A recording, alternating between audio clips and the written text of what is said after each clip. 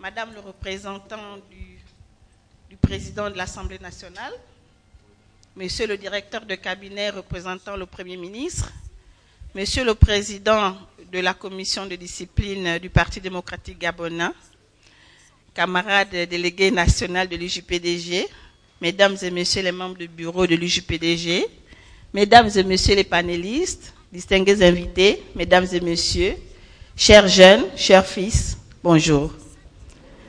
Marie-Françoise Dicumba, comme euh, on vient de me présenter, ministre déléguée à la prévoyance sociale et à la solidarité nationale. Je voudrais, avant d'entamer mon propos, m'acquitter d'un devoir agréable, celui de remercier le délégué national pour l'invitation qu'il a bien voulu m'envoyer en participant à cette première arbre à palabre. Je voudrais également dire la joie qui est la mienne aujourd'hui, pour, euh, dans ce sens que le choix du thème porte sur la drogue, parce qu'il y a quelques années, deux ans, normalement, nous avions, dans le cadre de mes anciennes fonctions, travaillé sur un projet de stratégie nationale de lutte contre la drogue, l'alcool et la toxicomanie en lien avec l'OCLAD ici présent et certains collaborateurs. Donc, vous comprenez bien sûr la joie qui est la mienne en sachant que les problématiques de drogue touchent en premier lieu des jeunes et ce sont des jeunes eux-mêmes qui ont pris le pari de combattre ce phénomène. Je ne peux que les féliciter et donc je vous demande de bien vouloir applaudir pour eux.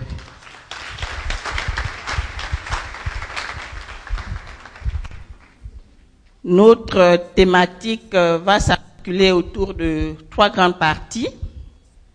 Ben, le diapo ne passe pas.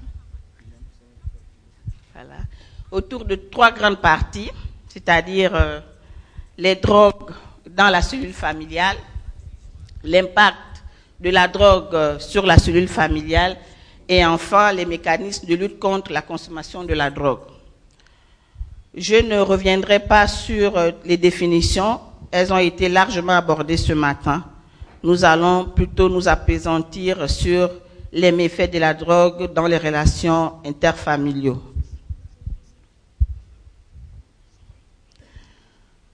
Les problématiques de la consommation de la drogue, comme vous pouvez le comprendre, sont devenues récurrentes dans notre pays.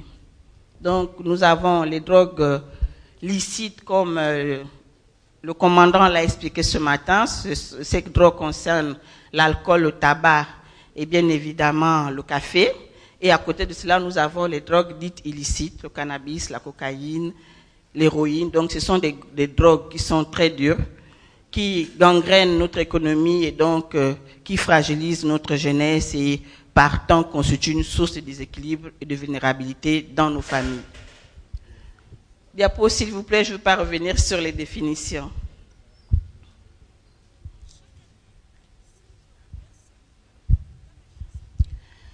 La drogue dans la cellule familiale. La consommation n'est pas seulement l'apanage des jeunes les adultes aussi consomment des drogues. Et donc, les effets sont, on les rencontre aussi bien chez les parents que chez les jeunes. Comment pouvons-nous euh, décrire les causes de consommation de la drogue? Nous avons dissocié ici deux groupes. Bien évidemment, le premier groupe est celui des parents. Chez les parents, il y a plusieurs euh, causes qui peuvent expliquer l'entrée dans les consommations de drogue et d'alcool. Ça peut être des problèmes de santé. Problèmes de santé, un parent qui ne supporte pas une problématique de santé grave ou qui, qui l'affecte directement ou qui affecte un membre de sa famille peut se réfugier dans l'alcoolisme ou dans la drogue. Ça peut être aussi des problématiques d'emploi, le chômage, la précarité, le manque de ressources. Et puis ça peut être tout simplement, comme l'a si bien expliqué ce matin notre jeune qui a témoigné, juste pour le plaisir. Et nous avons la deuxième catégorie qui est celle des jeunes. Pourquoi est-ce que les jeunes rentrent, poussent le premier pas pour aller vers la consommation de drogue? Toutes ces questions ont été largement abordées ce matin parce qu'effectivement, il y a eu de l'empiètement dans les diverses communications, mais bon, je vais me répéter. Effectivement, plusieurs causes peuvent expliquer l'entrée dans la consommation de drogue de la part des jeunes. Certains jeunes, bien évidemment, euh, le commandant l'a expliqué ce matin, le colonel, autant pour moi, la période de l'adolescence est une période qui est difficile pour les jeunes. Donc, euh, pour affirmer sa personnalité, son estime, les jeunes vont vouloir braver les interdits de la société, vont vouloir faire comme leur père, comme leurs amis. Oui, je suis dans un groupe, mon ami fume du shit, alors moi aussi je vais faire comme lui, pour prouver aux autres que je suis comme eux, pour me faire accepter dans le groupe. Donc tout ça, ce sont des exemples qui peuvent effectivement pousser les jeunes à pouvoir entrer dans la consommation de drogue. Ça peut être aussi des problèmes liés au, milieu familial et donc à l'ambiance dans la famille. Plus haut, j'ai évoqué le, problème de séparation dans les couples, le problème de divorce. Lorsque des parents divorcent, l'ambiance qui résulte de ce divorce peut durablement affecter les enfants, les jeunes, les uns et les autres en fonction de leur personnalité d'abord. Les plus fragiles peuvent se retrouver très touchés par, euh, très affectés par cette séparation, puisque lorsqu'il y a séparation, il y a déséquilibre de la relation familiale au sein des couples, au sein des familles. Nous avons également bon, des problèmes de stress, de faiblesse, parce que il y a des jeunes aussi qui sont déjà de nature timide, renfermés, donc ils sont facilement influençables. Et nous avons le sentiment d'abandon et de compréhension. Oui, ça c'est un vrai problème. Je vous parle ici en tant que mère. Je laisse euh, le manteau du ministre, mais je parle ici en tant que mère. Je suis moi-même mère de quatre enfants. J'ai deux grands garçons, un garçon de 27 ans et un garçon de 25 ans à peu près maintenant. Et donc, je sais de quoi je parle. Effectivement, il peut y avoir rupture dans la famille. Il n'y a plus de dialogue entre les parents et les enfants. Certains, parents aussi ne s'intéressent pas à ce que leurs enfants font. On abandonne nos enfants, on leur donne à manger, on achète des vêtements, ça s'arrête là alors que de fois le jeune peut rencontrer d'énormes difficultés dans sa vie personnelle, dans sa relation avec les autres, à l'école, dans sa relation avec sa petite amie. C'est vrai que nous n'allons pas nous immiscer dans la vie de nos enfants, mais il est important de regarder, d'observer les enfants et d'établir un dialogue avec eux pour que ceux-ci puissent effectivement s'ouvrir à vous. Généralement, nos enfants s'éduquent dans la rue. Ils s'éduquent dans les groupes et par les pères.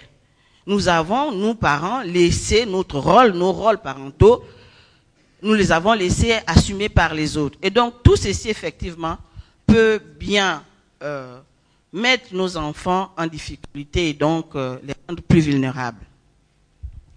Bon, je disais tantôt, il y a le manque de communication, la démission parentale, et voilà.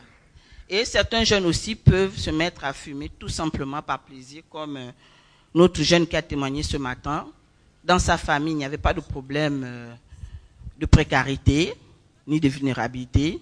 Il voulait tout simplement faire comme les autres. Il voulait découvrir la, drogue et ou l'alcool. Quels signes, quels sont les signes qui peuvent évoquer la consommation de drogue? Je m'adresse ici aux parents, j'espère qu'il y en a assez. C'est dommage, on aurait dû inviter 50% des jeunes, 50% des parents, parce qu'on ne peut pas parler de lutte contre la drogue sans parler aux parents, sans s'adresser aux parents, parce que c'est un travail qui doit se faire en collégialité entre les parents et les enfants qui sont confrontés à ces problématiques. Donc, les signes annonciateurs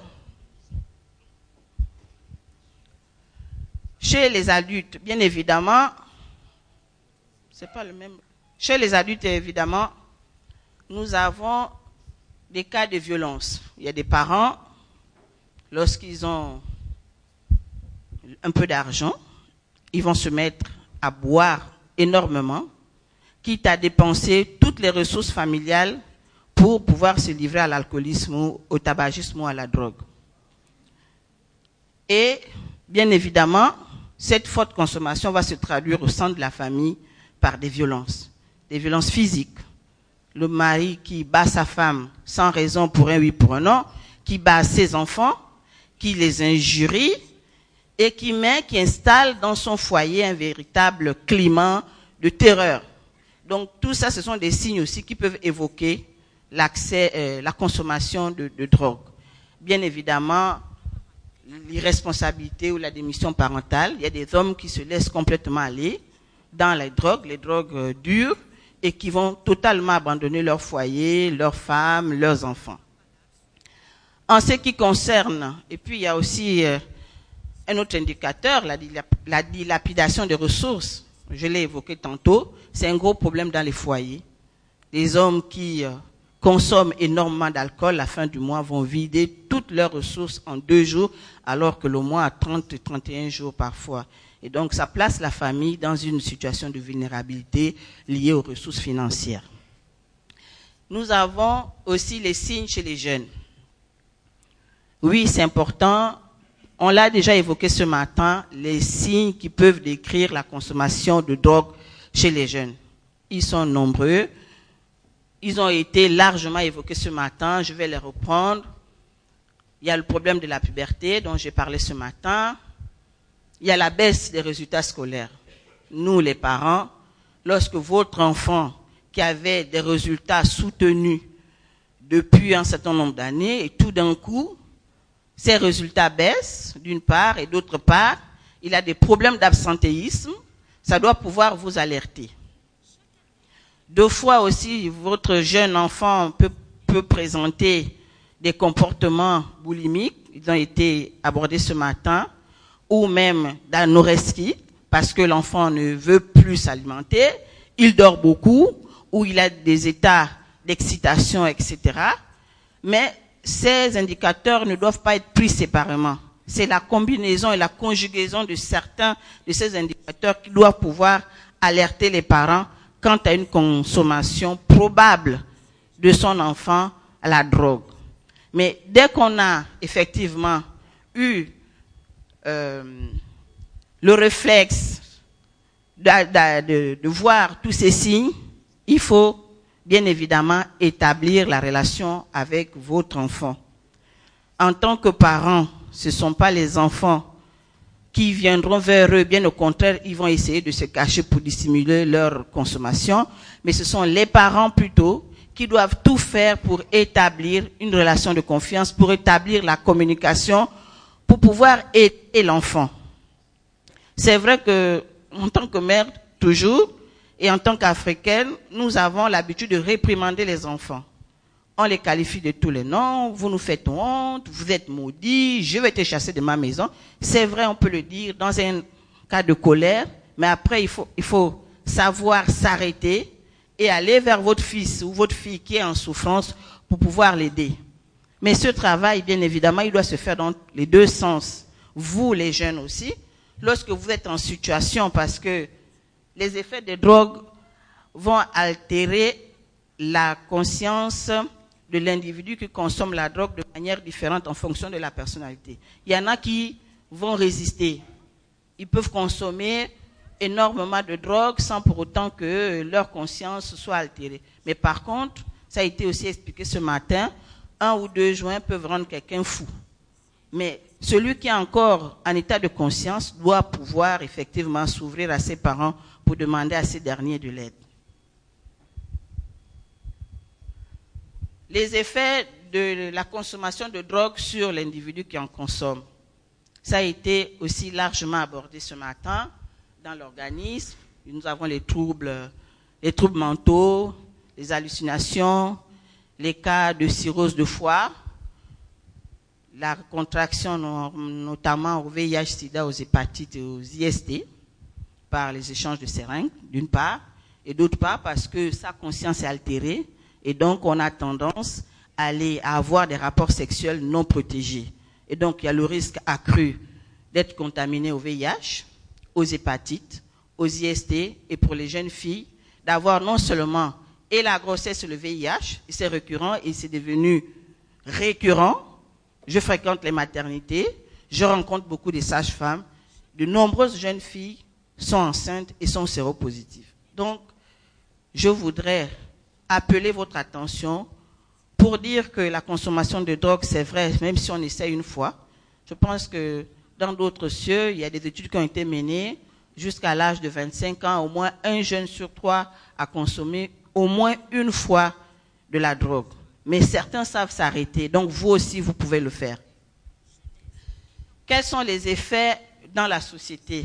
Bien évidemment, c'est la jeunesse qui est le rempart de la société. C'est par les jeunes que la société doit se développer. Si nous avons une jeunesse qui est malade, qui est consommatrice de drogue, quel type d'adultes aurons-nous pour construire notre pays? Je préfère poser ce problème en point d'interrogation. Vous avez certainement la réponse. L'impact de la drogue sur la cellule familiale, les effets sur la relation familiale. Bon, en tout cas, cette relation entre les membres d'une même fratrie ne peut être que perturbée par euh, la consommation de, drogue. Ce matin, je ne sais pas qui a parlé de ça, je ne sais le colonel, ou je crois que c'est le spot que nous avons suivi ce matin, la jeune fille euh, qui va avoir des rapports sexuels avec son propre père. Oui, c'est gens et c'est courant. Dans la maison, le grand garçon de 25 ans, après avoir consommé de la drogue, il va essayer de copuler avec sa jeune sœur qui a 5 ans, qui a 6 ans, qui a 10 ans, qui a 15 ans, au point même de l'enceinte. On perd un peu, on n'est plus tout à fait en possession de toutes ses facultés. C'est la raison pour laquelle je vous demande de bien réfléchir et de pouvoir euh, arrêter la consommation de toutes ces drogues. Bien évidemment, il y a les violences conjugales, hein, multiples, parce que la famille ne peut plus être euh, comme elle était avant. La sérénité ne peut plus être euh, légion, parce que une fois qu'on a consommé, que ce soit l'alcool ou la drogue, ça va alterner nos facultés et dans la famille, la famille ne pourra plus être un endroit de paix, un lieu de paix, mais plutôt un endroit euh, qui est sujet à des conflits, à de la violence, où personne ne veut y rester, même les enfants, tout le monde voudra partir loin de la famille. Bon, nous avons bien évidemment les traumatismes hein, psychologiques, parce que pour des enfants qui vivent dans une ambiance où le père est lui-même consommateur de drogue ou la mère, les enfants vont souffrir toute leur vie durant de ce traumatisme subi par les parents. Et dans les deux sens aussi, parce qu'il y a des enfants lorsqu'ils ont pris de l'alcool. Notre jeune frère ce matin l'a si bien dit dans son témoignage. Il a même poignardé son père et ça, ce sont des choses qui arrivent fréquemment. Et enfin, bon, nous avons aussi la déperdition des ressources financières, la famille. Lorsque l'argent est englouti dans l'achat de drogue, et le colonel le disait ce matin dans les achats compulsifs, parce que ça aussi, ce sont des formes de dépendance. Bien évidemment, il ne reste plus grand-chose pour euh, subvenir aux besoins de la famille. Les conséquences sur la société tout entière, bien évidemment, comme je le disais tantôt, la lutte, euh, l'État est obligé effectivement de mettre, de déployer des grandes ressources financières matérielles et humaines pour lutter, pour accompagner les toxicomanes. Bien évidemment, ces ressources, l'État pourrait l'affecter à autre chose. Et donc, l'État est obligé de se mobiliser parce que ces problèmes de drogue posent également des problèmes de santé publique, posent des problèmes de sécurité, d'insécurité. Donc, vous voyez que l'État est obligé de dépenser, de mettre, d'affecter des ressources aussi bien au niveau des forces de police, de défense et de sécurité pour euh, assurer la, sécurité des paisibles citoyens, d'une part, et d'autre part, l'État est obligé d'investir. Je pense que ça va être le cas et j'espère qu'au sortir de ce premier abat nous allons avoir des recommandations fortes qui vont aboutir, pourquoi pas, comme l'a rappelé ce matin le, docteur euh, Mabiala, sur euh, la, création d'un centre de désintoxication. Oui, en créant le centre de désintoxication, il faut mettre euh, sur place un panel de professionnels. Il faut mettre en place des dispositifs pour accompagner les, les personnes consommatrices de drogue. Et c'est un type d'accompagnement qui est très lourd, croyez-moi. J'ai travaillé en France dans un centre de désintoxication et je sais qu'est-ce que c'est. On rentre facilement dans la drogue, mais pour en sortir, on peut mettre 10 ans, 15 ans, on n'en a pas fini. Et plusieurs personnes dans le processus de guérison laissent la peau, meurent parce que on se détruit soi-même de manière très très très profonde. Donc la prise en charge de la toxicomanie est une euh, prise en charge, au juste me répéter, qui est très lourde, qui est difficile aussi bien pour les accompagnants que sont les médecins, les psychologues, les assistants sociaux, les éducateurs, c'est très long, mais qui est aussi périlleuse pour la personne qui en consomme. Vous vous amusez en une fois, deux fois, mais sachez que pour en sortir, vous pouvez passer toute votre vie.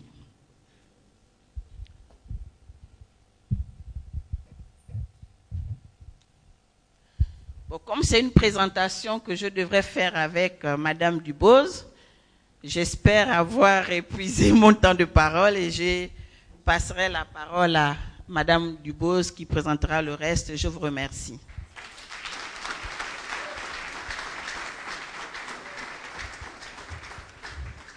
Je reviendrai sur ce tableau tout à l'heure.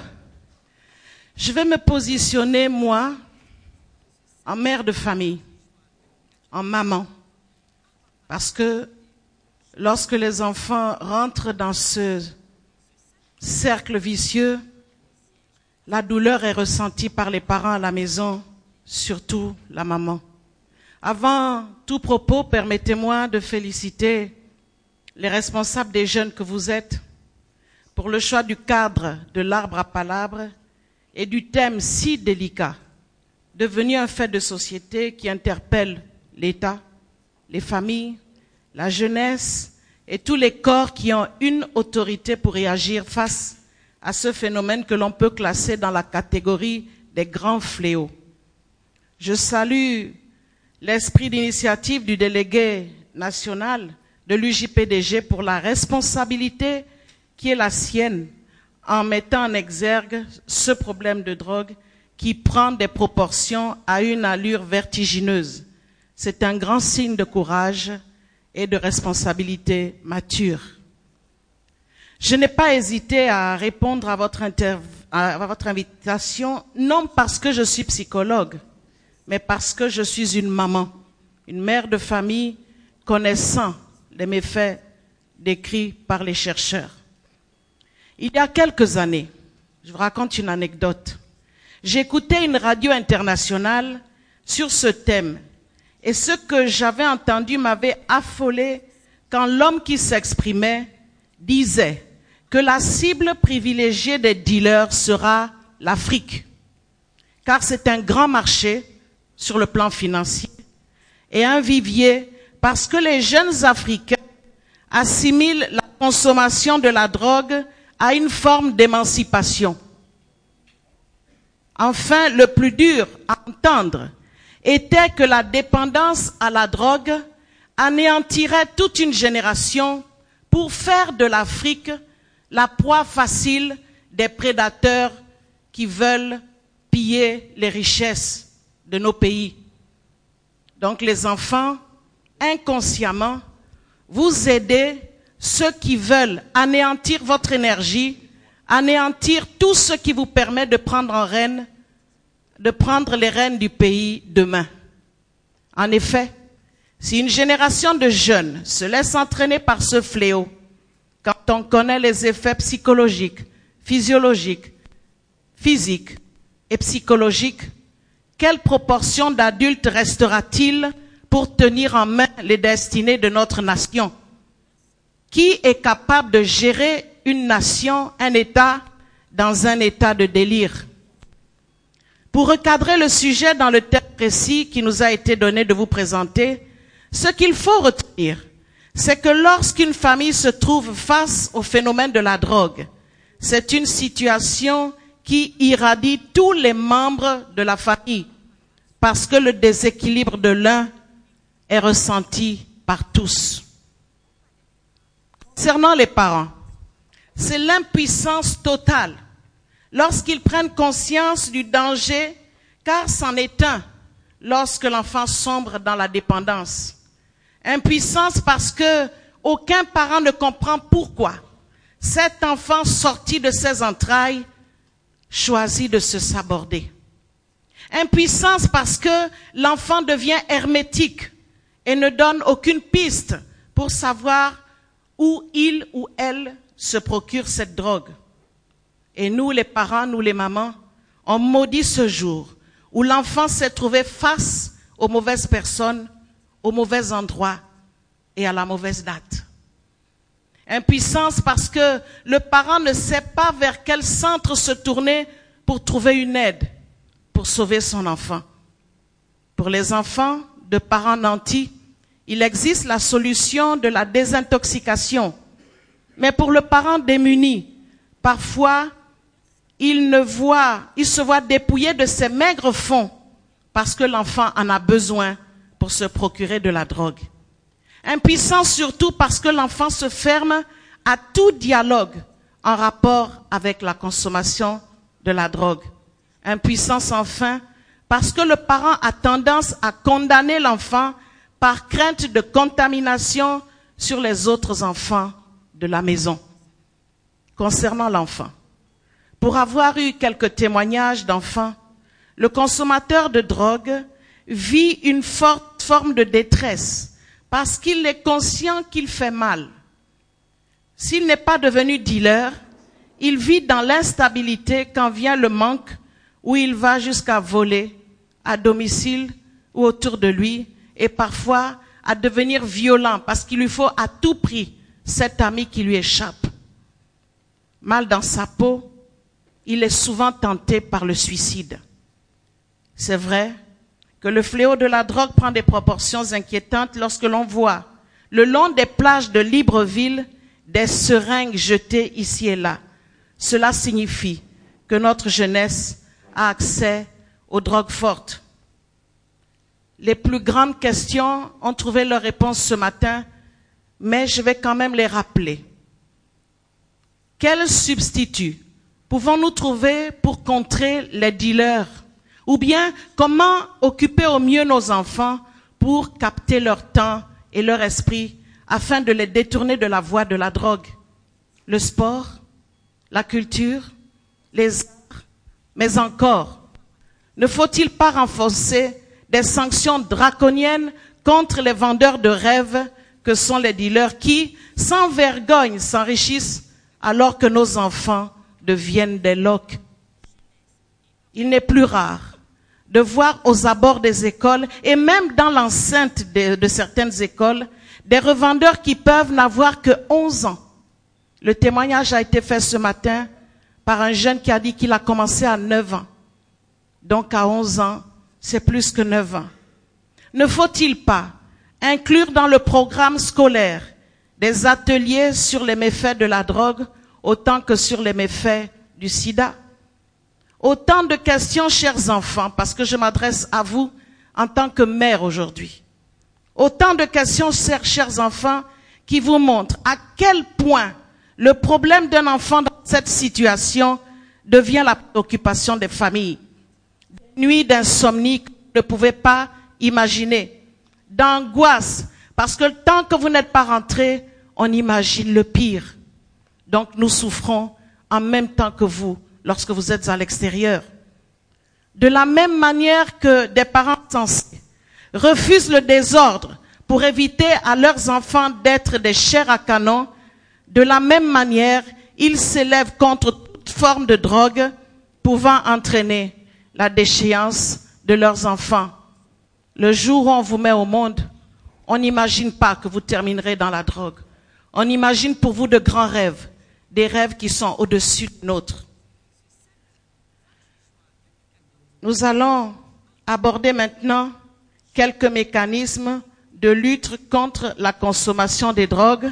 Et là, je vais revenir sur le tableau que nous avons là-bas sans me déplacer nous avons détecté pour vous quelques dispositifs. Le micro va me lâcher. Au niveau familial, on peut, on peut préconiser entre autres l'instauration urgente du dialogue et de la confiance avec le toxicomane. Madame le ministre s'est appesantie là-dessus. Il faut établir un dialogue. Les enfants, qui mieux que vos parents pour vous comprendre? Qui mieux que vos parents pour vous sortir de là? Qui mieux que vos parents pour être le meilleur des supports possibles? Vous ne trouverez jamais à l'extérieur, au milieu de vos amis, vous ne trouverez jamais aux côtés de ceux qui vous vendent cette drogue la voie idéale pour faire de vous de vrais hommes et de vraies femmes. Il faut lui manifester de l'intérêt et de l'affection. Quel enfant peut douter de l'amour d'une mère? Nous sommes là pour ça, nous sommes nés pour ça, pour vous aimer, pour vous encadrer. La vigilance des parents et le maintien des valeurs importantes pour l'éducation des enfants. Depuis tout jeune, on vous donne des valeurs. Depuis tout jeune, vous avez reçu des fessées, la chicotte, pour vous dire ce qui est bien et ce qui est mal. L'expérience des parents est là pour vous éviter d'aller dans des errements d'où vous ne pourrez pas revenir. Vos meilleurs conseillers sont vos parents. Le marquage des limites et mise en garde des enfants contre les dangers qu'ils peuvent encourir sans pour autant verser dans un moralisme excessif et un autoritarisme déplacé. La nécessité de valoriser le jeune, de l'encourager et de favoriser ses contacts avec l'extérieur. Ne vous étonnez pas, les enfants, lorsque les parents ont découvert que vous êtes dans cette situation. Ne vous étonnez pas qu'ils ne veuillent pas voir vos amis. Aucun parent ne pense que c'est son enfant qui a commencé. On a toujours le sentiment que c'est l'enfant de, de l'autre qui a influencé notre enfant. C'est pour ça, vous verrez des parents qui ne veulent plus voir vos amis à la maison parce qu'ils n'ont plus confiance. Le recours aux spécialistes, dès que les signes annonciateurs sont décelés, et le renforcement du soutien familial, Madame le ministre a insisté là-dessus. Au niveau étatique, outre l'existence d'organes de lutte et de répression comme l'OCLAD ou des juridictions diverses, d'une part, et de prise en charge par l'hôpital psychiatrique de Mélène, d'autre part, des mesures d'accompagnement devraient permettre la création de centres spécialisés et c'est le docteur qui l'a dit ce matin qui a parlé de la mise en place d'un centre de désintoxication et la mise en place de dispositifs d'aide aux familles vulnérables. C'est vrai, quelqu'un l'a dit ce matin, la solution pour les enfants dans cet état n'est pas de les mettre en prison, n'est pas de les incarcérer. On accentue, je crois, le phénomène. La direction, ce serait plutôt dans un hôpital ou dans un centre de désintoxication. Ce dispositif pourrait inclure des éléments relatifs à la réinsertion sociale du toxicomane, en même temps que l'enfant est suivi sur le plan médical, on devrait pouvoir lui trouver des sorties, peut-être découvrir des talents qui sont en lui dans le, dans le cadre de la culture, du sport, de la musique, sait-on jamais. Peut-être qu'il cherche au fond de lui quelque chose pour l'en sortir, mais il a pensé que c'était la drogue. Quelqu'un disait que les enfants qui se droguaient, c'est parce qu'ils cherchaient le meilleur pour eux. Ne le trouvant pas, ils pensent que l'évasion est le grand rêve. C'est la drogue. Mais depuis ce matin, nous avons entendu tout ce qui a été dit et nous avons remarqué et retenu que la drogue est très nocive pour la santé de nos enfants. L'intégration d'un système de soutien familial, la valorisation de la relation parent-enfant et entre les membres de la fratrie. On devrait aussi s'appuyer sur la société civile et les responsables des milieux scolaires, mais aussi, mesdames et messieurs, sur le corps diplomatique, parce qu'on ne peut pas donner des leçons, on ne peut pas euh, euh, conseiller nos enfants si le corps diplomatique n'est pas avec nous. On va conseiller, on va prendre nos enfants gabonais, mais parallèlement, la drogue rentre par, euh, par d'autres pays. Donc il faudrait aussi intéresser le corps diplomatique pour qu'ensemble, en symbiose, tout ce travail soit fait pour éradiquer en partie ou tout à fait le phénomène de la drogue. Nous allons maintenant vous savez, je n'ai pas les méthodes modernes. Du haut de mes 60 ans, on n'a pas encore appris ces méthodes modernes. Je continue à fixer mon regard sur mon document pendant que vous, vous suivez ce qui se passe là-bas. Nous allons maintenant parler en page 12 de quelques énoncés de Le lien entre la consommation de drogue et la relation familiale requiert encore plus d'attention de la part de toutes les composantes de la société du fait de ses conséquences dramatiques. Depuis ce matin, nous avons été édifiés. Les autorités politiques nationales, en tête desquelles notre distingué camarade président, l'ont si bien compris que le pacte social, dont l'instrument de mise en œuvre est la stratégie d'investissement humain du Gabon, SIHG, constitue dans ses volets 1, insertion et réinsertion des jeunes, et 2, autonomisation par les AGR des réponses appropriées visant à juguler ce phénomène de plus en plus manifeste dans notre société. Cette politique représente à n'en point douter un espoir légitime pour notre jeunesse toujours sacrée.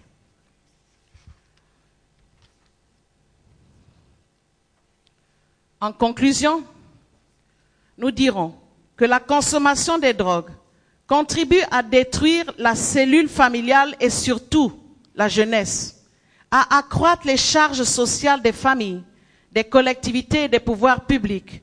Madame le ministre l'a tellement bien décrit qu'on n'en fera pas de commentaires. Ainsi, lutter contre la consommation des drogues par les jeunes, c'est sauvegarder les ressources humaines, matérielles et financières pour le plein épanouissement de tous. Les parents que nous sommes avons des rêves pour la jeunesse. Ensemble, enfants, parents et toutes les structures engagées pour la lutte contre la drogue, nous devons trouver des solutions car les soucis des enfants sont les soucis des parents. Et l'état d'impuissance dans lequel les parents se retrouvent mérite, de la part des enfants que vous êtes, une prise de conscience, car de part et d'autre, nous savons que la drogue est carrément, carrément et définitivement nocive.